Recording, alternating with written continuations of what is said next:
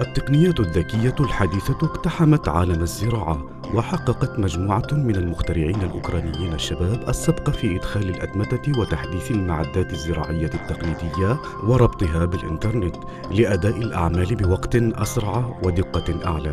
فيما ذهب علماء التحكم الآلي أبعد من ذلك. لقد استطاعوا تصميم أجهزة تكشف عن العمليات الحيوية النباتية ثم ترسل معطياتها مباشرة إلى قاعدة البيانات لأخذ الإجراءات اللازمة فورا. جمال سنابل القمح المتسقة في طولها، روعة زهور عباد الشمس في ملاحقتها حركة الشمس، شموخ حقول الذرة، وغيرها من تفاصيل الجمال تسلب لب المشاهد العادي لكنها لا تشغل المهندسين الزراعيين عن رؤية أدق التفاصيل في بقعة ما هم يكتشفون نباتات أقصر من المعدل وفي أماكن أخرى يتنبهون لاصفرار بعض الأوراق لسبب مجهول أو تأخرا في نمو بعض السنابل وغيرها من الفروقات الناجمة عن دينامية الطبيعة وحيويتها وتغيراتها. فروقات قد تترك في المحصلة أثارا سلبية على الإنتاج وخسائر في الوقت والجهد. لا تستطيع الطرق الزراعية التقليدية الإحاطة بكل تلك المتغيرات الطبيعية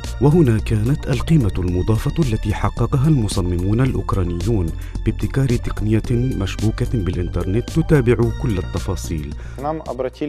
القصة بدأت مع مزارع طلب منا ربط أجهزة الاستشعار التي يستخدمها في حقوله بالإنترنت. درسنا الفكرة فوجدنا أننا نملك كل ما يلزم لتنفيذها وفعلا تحقق الأمر. هكذا ولدت فكرة الرصد الزراعي وباختصار هي تقانة تساعد على تحديث العمل الزراعي والزراعي زيادة الإنتاج وتوفير الوقت والجهد بشكل كبير. ولهذا بدأنا تطويرها ونشرها في أوكرانيا. أهم أسباب نجاح العمل الزراعي هي إدراك الحقائق والتفاصيل المتعلقة بطبيعة الأرض ونوعية النباتات لاتخاذ قرارات مناسبة. جاء دور المصممين الذين فندوا كل هذه التفاصيل ثم صنعوا أجهزة مبتكرة. تصاميمنا تتألف من عدة أجهزة أولها جهاز متنقل لقياس الرطوبة وأجهزة متنقلة أخرى لقياس صلابة التربة إضافة إلى مرصد جوي يتكون من أجهزة لقياس الهطولات سرعة الرياح حرارة الطقس معدل الرطوبة الجوية ورطوبة التربة على ثلاثة أعماق مختلفة إضافة إلى نظام رسم الخرائط الذي يسجل كل ما يتعلق بمواقيت الزراعة. معظم المشتغلين في هذا الحقل الجديد هم من المبرمجين الشباب لكنهم يعزون نجاح عملهم إلى التعاون الوثيق مع المزارعين مؤسس الشركة المصمم الأوكراني سيرهي سكوك يقضي معظم أوقاته في الحقول يتواصل مع المزارعين ويعتمد على نصائحهم ويأخذ اقتراحاتهم في صلب عمله واهتمامه لسنا من نوع المصممين التجاريين الساعين لابتكار أفكار جديدة وبيعها في السوق بل سعينا الأساس هو تلبية الحاجات الفعلية. ولهذا نحن نقصد المهندسين الزراعيين اولا وننظر في حاجاتهم وتجاربهم لنضبط المنتجات بطرق تلائم طلباتهم. ربط الأجهزة بالإنترنت يسمح بالحصول على المعلومات وتحليلها بسرعة وبدقة عالية. جهاز قياس الصلابة يقوم بقياس كثافة التربة في مختلف الأعماق. تعمل أجهزتنا على عدة مستويات وبها نتمكن من معرفة عمق التربة اللازم كي ينعم النبات بصحة جيدة وتتناسب جذوره مع الأرض ورطوبتها وقدرتها على الامتصاص.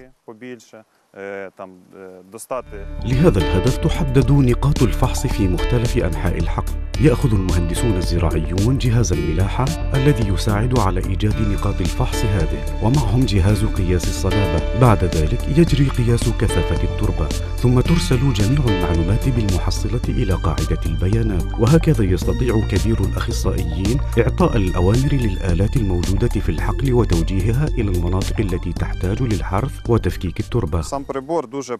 الجهاز سهل الاستخدام. لدينا لوح هنا يساعدنا لتحديد العمق المناسب. في الجزء السفلي من الجهاز توجد مستشعرات توضح العمق الذي وصلنا إليه. على شاشة اللمس نضغط على خيار حقل جديد فيقوم الجهاز بتسجيل البيانات. هنا نضغط على زر القياس. يبدأ عمل الجهاز ونقوم بالقياس. على الشاشة تظهر الكثافة على مختلف الأعماق. عندما تجرى القياسات يظهر الجهاز بأن القياسات قد انتهت. على الشاشة تظهر معلومات مثل كثافة التربة لكل سنتيمترين ونصف. ننظر. نعم كل القياسات قد أجريت بشكل الصحيح نخرج الجهاز من التربة نضغط جيدا ثم نرسلها. عندئذ ترسل المعلومات إلى الخادم فورا. خلال عشرين ثانية سيتمكن الشخص الموجود في المكتب من رؤية المعلومات الجديدة لكل نقطة فحص نقوم بعمل القياسات فيها. بهذه السرعة أيضا يمكن الحصول على معلومات بمساعدة جهاز آخر من صنع المصممين. هو جهاز عادي لقياس سرعة الرياح مشبوك بمعدات إلكترونية حديثة وجهاز استقبال وإرسال. تتيح الحصول على المعلومات عن حالة الطقس وإرسالها فورا إلى المراقبين. حقق الجهاز نجاحا باهرا. وقام أخصائيون من إحدى الشركات الزراعية الكبرى بطلب العشرات منه لتشغيلها فورا. ما نراه هنا هو واحد من 75 مرذاذا ذاتي الحركة. تستخدم هذه الآلة لري المزروعات ورشها بالمبيدات. وعليها وضع جهاز لقياس سرعة الرياح لإرسال المعلومات مباشرة إلى المكتب. ما فائدة هذه المعلومات؟ في الحقيقة هي مهمة جدا قبل رش المبيدات فالرياح القوية تحمل المبيدات بعيدا عن الهدف. ولذلك كانت مراقبة شدتها ومعرفة وجهتها مباشرة عبر الإنترنت مفيدة للمزارع كثيرا لأنها تساعده على وقف الرش في الوقت المناسب وتجنب هدر المواد. هذا يساعد في حماية المزروعات وتوفير المواد المستخدمة لرش المبيدات. تعتبر المراقبة من خلال الأقمار الصناعية ميزة إيجابية للشركات الزراعية التي تستخدم أجهزة هذا الفريق الناشئ. يخطط الفريق لتقديم الصور الجوية كخدمة إضافية. نريد أن نجعل السوق يتطور بسرعة. لذلك نوفر هذه الخدمة مجانا. يمكن مشاهدة الحقول من الأعلى.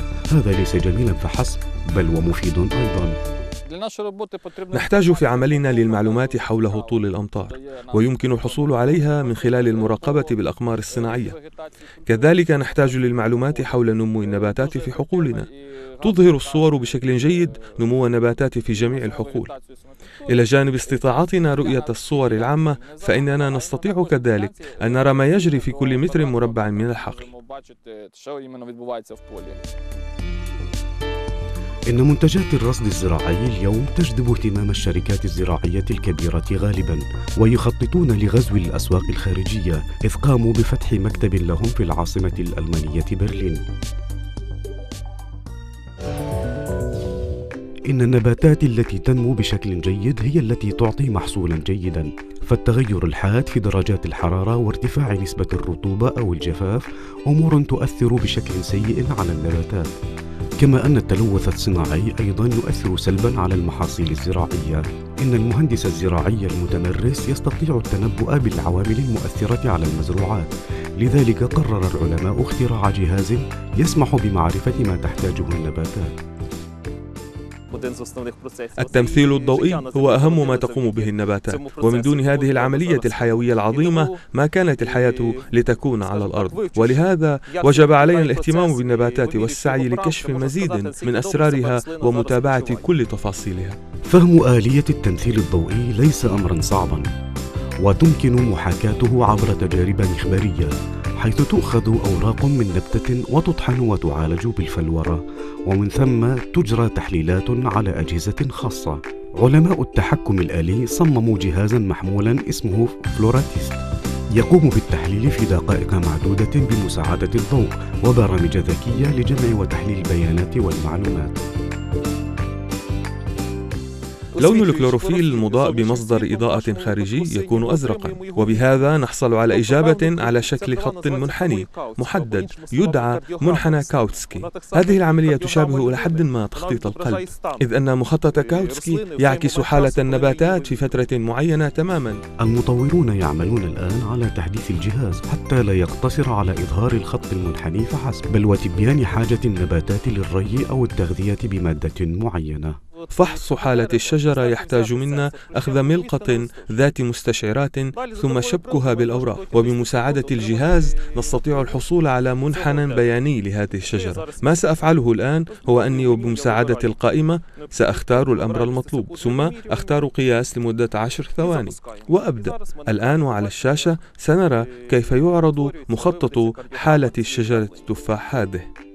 يستخدم هذه الأجهزة مهندسون زراعيون من مختلف أنحاء أوكرانيا وبشكل خاص مزارعو العنب في محافظة أوديسا. يساعد جهاز فلوراتيست على تحديد أوقات الري وكميته كما ويستخدم لمعرفة المعلومات المهمة عن التربة مثل كمية مبيدات الأعشاب الموجودة فيها علما أن هذه المواد ليست رخيصة والجرعات الزائدة منها قد تقتل النباتات.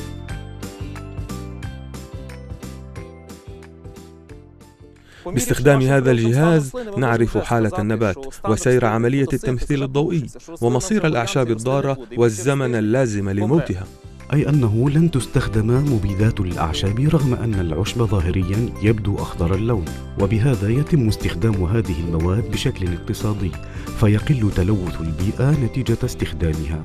كما يقول المخترعون فإن الجهاز قد مر بفترة تجارب طويلة ليس عند المزارعين الأوكرانيين فقط فقبل عامين أجريت عليه فحوصات عديدة في إحدى المؤسسات العلمية الزراعية الألمانية.